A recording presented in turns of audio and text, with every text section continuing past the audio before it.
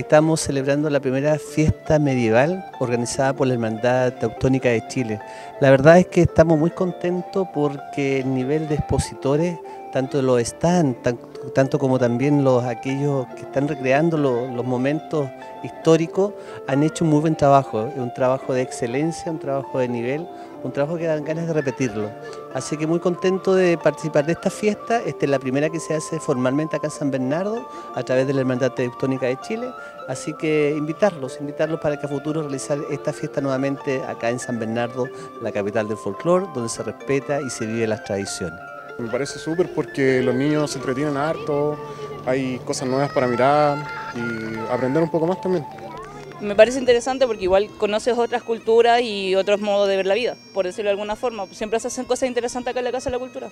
Es una excelente idea, ya que le abre la puerta a muchas personas que nos gusta este tipo de eventos.